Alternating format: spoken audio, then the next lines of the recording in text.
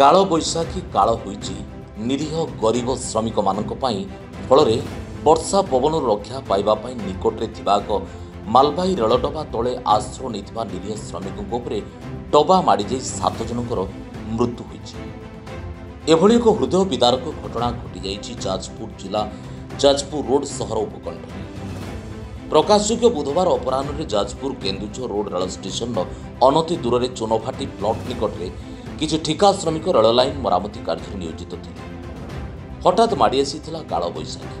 ବର୍ଷା ପବନ ଆଉ ବିଜୁଳି ପ୍ରଭାବରୁ ନିଜକୁ ରକ୍ଷା କରିବା ପାଇଁ ନିକଟରେ ବହୁଦିନ ଧରି ଠିଆ ହୋଇ ରହିଥିବା ଏକ ଖାଲି ରେଳ ଡବା ତଳେ ଏମାନେ ସମସ୍ତେ ଆଶ୍ରୟ ନେଇଥିଲେ। ହେଲେ ଦୁର୍ଭାଗ୍ୟର ବିଷୟ ଏହି ସମୟରେ ଅତ୍ୟଧିକ ପବନ ବହିବାରୁ କିଛି ବଗି ଆପେ ରେଳ ଧାରଣାରେ ଗଡ଼ିବା ଆରମ୍ଭ କରିଦେଇଥିଲା।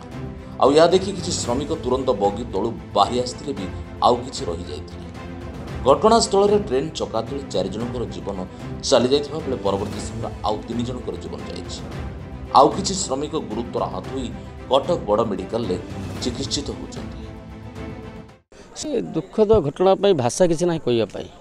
ଏମିତି ମୃତ୍ୟୁ ଆସେ ଯାହାକି ଆମେ ଏ ଅଞ୍ଚ- ଯାଜପୁର ଜିଲ୍ଲା ସାରା ଓଡ଼ିଶା ଦେଖିଲା ସାରା ଓଡ଼ିଶା ଆଜି ଦେଖିଲା ଯେ ମୃତ୍ୟୁ ଏମିତି ଆସେ ପବନରେ ଟ୍ରେନ୍ ଗଡ଼େ ଏବଂ ଲୋକ ଲୋକ ମରିଯାଆନ୍ତି ଛାତି ଫାଟି ଯାଉଛି ଏକୁ- ମାନେ ଏ ଦୃଶ୍ୟ ଏବଂ ଏକୁ ସବୁ ମୁଣ୍ଡରେ ପାଇ ଡେଡ୍ ବଡ଼ି ଦେଖିଲା ପରେ ମୋ ଆଉ ସବୁ ମୋ ଗାଁର ଆଜ୍ଞା ମୋ ଅଞ୍ଚଳର ମୋ ଜିପିର ହେଉଛି ପାଞ୍ଚଟା ଡେଡ୍ ବଡ଼ି ଏଇଠି ଅଛି।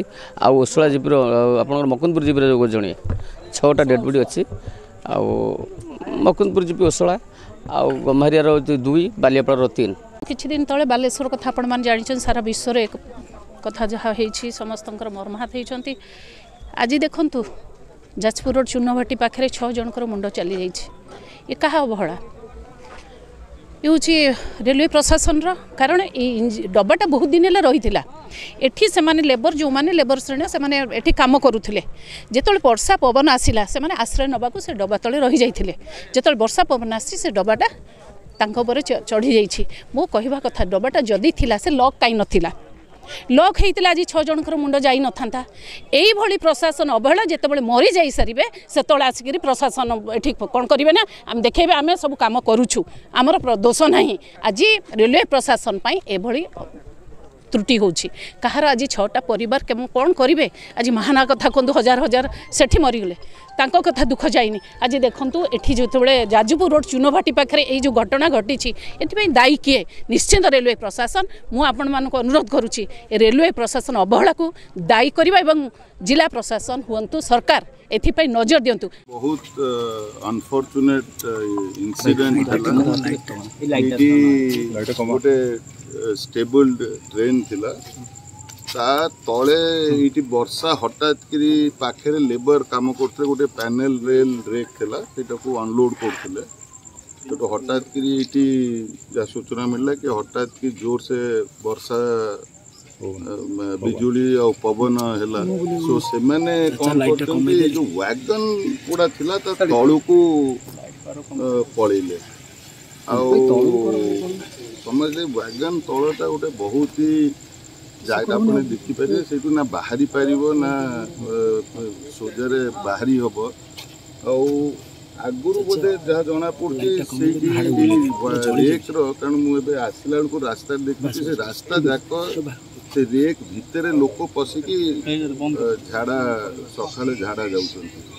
ତ ସେଇଥିରେ କିଏ ଗୋଟେ ଆପଣ ଯଦି ଚାଲିକି ଯିବେ ସେଇ ପୋର୍ସନରେ ସେଇଠି ଦେଖିବେ ଲୋକମାନେ ସେଇଠି ସେ ୱାଗନ୍ ଯୋଉଠି ଆଗରୁ ଥିଲା ତା ତଳେ ପଶିକି ଝାଡ଼ା ଯାଉଛନ୍ତି। ସେଇଠି କିଏ ସେଇଠି ହ୍ୟାଣ୍ଡେଲଟା ଅପରେଟିଂ ହ୍ୟାଣ୍ଡେଲଟା କିଏ ଗୋଟେ ଅପରେଟ୍ କରିଦେଇଛି। ଆଗ ପୋର୍ସନଟା ଆପଣ ଦେଖିବେ ସେଇଠି ଚେଞ୍ଜ ହେଇକି ଅଛି। ତ ଏଇ ଯୋଉ ମଝି ପୋର୍ସନଟାରେ ସେମାନେ ଯୋଉ ହ୍ୟାଣ୍ଡେଲ ଖୋଲିଦେଲେ ଏଇ ଯୋଉ ପବନ ଥିଲା ଏ- ଏଇଗୁଡ଼ା ଷ୍ଟେବୁଲ ଟ୍ରେନ୍ ଥାଏ ତାର ଯୋଉ ଲାଷ୍ଟ ୱାଗନ୍ ଗୁଡ଼ାକୁ ହ୍ୟାଣ୍ଡ ବ୍ରେକ୍ ଲଗାନ୍ତି। ବାଲେଶ୍ୱରର ବାହାନଗା ରେଳ ଦୁର୍ଘଟଣା ଲୋକଙ୍କ ମନରୁ ନ ଲିଭୁଣୁ ଯାଜପୁରରେ ପୁଣି ଏକ ରେଳ ଦୁର୍ଘଟଣା ସମସ୍ତଙ୍କୁ ଚକିତ କରିଦେଇଛି। ମନରେ ପ୍ରଶ୍ନ ଉଠିବା ସ୍ୱାଭାବିକ ଏହି ଦୁର୍ଘଟଣା ପଛର କାରଣ କ'ଣ ହେଇପାରେ? ସହଜ ଭାବରେ କହିବାକୁ ଗଲେ ରେଳବାଇର ଖାମଖିଆଲି ମନୋବୃତ୍ତି ଯୋଗୁଁ ମୂଲ୍ୟବାନ ସାତଟି ଜୀବନ ଚାଲିଗଲା। ଖବର ପାଇ ଖୋର୍ଦ୍ଧା ରୋଡ୍ ମଣ୍ଡଳ ଡିଆର୍ଏମ୍ ରିଙ୍କେଶ ରାୟ ପୁରୀ ବିଧାୟକ ଅଶୋକ ବଳ ଜିଲ୍ଲାପାଳ ଚକ୍ରବର୍ତ୍ତୀ ସିଂ ରାଠୋର ଜିଲ୍ଲା ଆରକ୍ଷୀ ଅଧୀକ୍ଷକ ବିନୀତ ଅଗ୍ରୱାଲ ମୋ କଲେଜ ଅଭିଯାନ ଅଧ୍ୟକ୍ଷ ଆକାଶ ଦାସ ନାୟକ ପିସିସି ମହିଳା ସଭାନେତ୍ରୀ ବନ୍ଦିତା ପରିଡ଼ା ପ୍ରମୁଖ ପହଞ୍ଚିଥିବା ବେଳେ ପୋଷ୍ଟମର୍ଟମ୍ ହେଉଥିବା ଦାନଗଦି ଡାକ୍ତରଖାନା ପରିସରରେ ମାନ୍ୟବର ମନ୍ତ୍ରୀ ପ୍ରୀତିରଞ୍ଜନ ଘଡ଼େଇ ପହଞ୍ଚି ମୃତକଙ୍କ ପରିବାରକୁ ଆଶ୍ୱାସନା ଦେଇଥିଲେ ଏହି ଘଟଣାରେ ସମସ୍ତ ମୃତକ କୋରେଇ ବ୍ଲକ ବନ୍ଦାଳ ତୁଲାଗପାଟଣା ଅଞ୍ଚଳର ବୋଲି ଜଣାପଡ଼ିଛି ଏମାନେ ସମସ୍ତେ ଠିକାଦାରଙ୍କ ଅଧୀନରେ କାର୍ଯ୍ୟ କରୁଥିଲେ। ମୃତକଙ୍କ ପରିବାରକୁ ମୁଖ୍ୟମନ୍ତ୍ରୀଙ୍କ ରିଲିଫ୍ ପାଣ୍ଠିରୁ ପାଞ୍ଚ ଲକ୍ଷ ଟଙ୍କା ଲେଖାଏଁ ଅନୁକମ୍ପା ରାଶି ପ୍ରଦାନ ପାଇଁ ଘୋଷଣା କରାଯିବା ସହ ଆହତଙ୍କୁ ମାଗଣା ଚିକିତ୍ସା ପାଇଁ ବ୍ୟବସ୍ଥା କରାଯାଇଛି। ତେବେ ଏଠାରେ ସ୍ମରଣଯୋଗ୍ୟ ଠିକ୍ ଚଉଦ ବର୍ଷ ତଳେ ସେହି ସମାନ ସ୍ଥାନରେ କରମଣ୍ଡଳ ଏକ୍ସପ୍ରେସ୍ ଦୁର୍ଘଟଣା ହୋଇ ନଅ ଜଣଙ୍କର ଜୀବନ ଯାଇଥିଲା। ଗୋଟିଏ ଅତ୍ୟନ୍ତ ଦୁଃଖଦ ଘଟଣା ଆଜି ଯେଉଁଭଳି ଭାବରେ ଯାଜପୁର ରୋଡ଼ ପ୍ଲଟ୍ ପାଖରେ ଟ୍ରେନ୍ ତଳେ ଚାପି ହୋଇ ଛଅ ଜଣଙ୍କର ଜୀବନ ଯାଇଛି ଏବଂ କ'ଣ ପାଇଁ ସେମାନଙ୍କ ଜୀବନ ଗଲା ଏବଂ କିଭଳି ଭାବରେ ଟିକେ ପବନ ହେବା ଫଳରେ ଟ୍ରେନ୍ଟି ଗଡ଼ିଲା ତାହା ତଦନ୍ତ ସାପେକ୍ଷ। କାହାର ଦାୟିତ୍ୱହୀନତା ପାଇଁ ଏ କାର୍ଯ୍ୟଟି ଘଟିଲା ତାହା ତଦନ୍ତ ସାପେକ୍ଷ। ଏବଂ ଯେଉଁ ଛଅ ଜଣଙ୍କର ଜୀବନ ଯାଇଛି ସେ ଛଅ ଜଣଙ୍କୁ କ୍ଷତିପୂରଣ ଦେବା ପାଇଁ ମୁଁ ରେଲୱେ କର୍ତ୍ତୃପକ୍ଷଙ୍କ ନିକଟରେ ଦାବି କରୁଛି ଏବଂ ଏଭଳି ଘଟଣା ଯେଭଳି ଭାବରେ ଆଗକୁ ନ ହୁଏ ସେଥିପାଇଁ ମୁଁ ରେଲୱେ କର୍ତ୍ତୃପକ୍ଷଙ୍କ ନିକଟରେ ଦାବି କରୁଛି ବର୍ତ୍ତମାନ ଏ ପୋଷ୍ଟମର୍ଟମ୍ ଚାଲିଛି ଅତ୍ୟନ୍ତ ଦୁଃଖଦ ଘଟଣା ବର୍ତ୍ତମାନ ସମୟ ତାଙ୍କର ପରିବାରବର୍ଗଙ୍କ ସାଙ୍ଗରେ ରହିକି ଏ ସମୟରେ ତାଙ୍କୁ କିଭଳି ଭାବରେ ଏ ପରିବାରବର୍ଗ ଏ ଦୁଃଖଦ ସମୟରେ ତାଙ୍କ ସାଙ୍ଗରେ ରହିବା ଏବଂ ପୋଷ୍ଟମର୍ଟମ୍ ହେଉଛି ତା ପରବର୍ତ୍ତୀ କାଳରେ ପ୍ରଶାସନ ଆପଣଙ୍କୁ ରେଲୱେ ଅଥରିଟିଙ୍କ ସାଙ୍ଗରେ ଆଲୋଚନା କରିକି ସବୁ ତଥ୍ୟ ଆପଣମାନଙ୍କ ପାଖରେ ରଖିବେ। ସମୟ ନୁହଁ ସେ ବିଷୟରେ ଆଲୋଚନା କରିବା ପାଇଁ। ବର୍ତ୍ତମାନ ସମୟ ଯେଭଳି ଭାବରେ ଦୁଃଖଦ ଘଟଣା ଘଟିଛି ତାଙ୍କର ପରିବାରବର୍ଗଙ୍କ ସାଙ୍ଗରେ ରହି ଏ ଦୁଃଖ ସମୟରେ ତାଙ୍କୁ ସାନ୍ତ୍ୱନା ଦେବା ଏ ସମୟରେ ତାଙ୍କ ସାଙ୍ଗରେ ରହିବା। ବ୍ୟାସନଗର ଆଶୁତୋଷ ରିପୋର୍ଟ ଯାଜପୁର